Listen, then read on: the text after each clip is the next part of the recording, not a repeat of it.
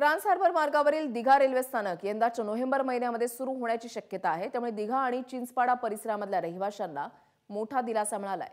नवी मुंबईहून कल्याण डोंबिवलीकडे जाणाऱ्या तर कल्याण डोंबिवलीहून नवी मुंबईकडे जाणाऱ्या प्रवाशांना या स्थानकाचा लाभ होणार आहे.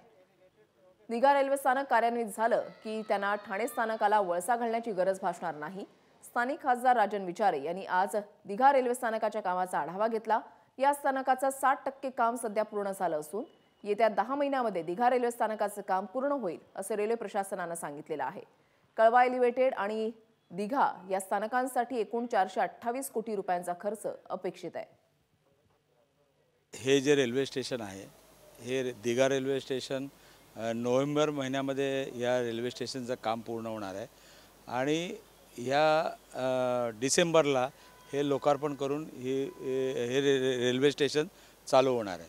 दोन हजार सोळाला ह्याचं भूमिपूजन आदरणीय देशाचे पंतप्रधान नरेंद्र मोदी साहेब यांच्या शुभ हस्ते झालं.